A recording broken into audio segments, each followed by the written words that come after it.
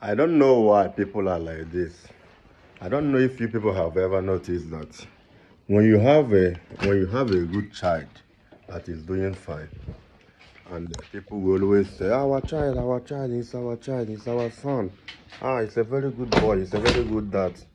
Okay, when the child is not doing fine and the child is is is, is a prodigal son or a prodigal child is not doing fine and like you see everybody everybody will disassociate themselves. They say eh the child looks like his father or he looks like the mother and stuff. Okay who do you want the child to be like? When the child is good he become the public son and public child. Then when the child is bad he's doing bad bad things and now everybody will disassociate themselves. Why are people like that?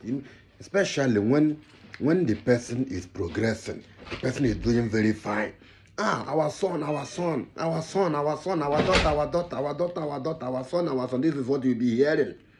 But immediately the child is one of all those uh, one of all those woes, you understand? Everybody will disassociate themselves. I don't know why it's like that, though, but I have noticed, I have noticed it a lot of times, you understand? Uh -huh. So, if you have ever noticed it, just pin it down on comment section you understand? Let's address the issue. One love and happy easter to every one of you. Love you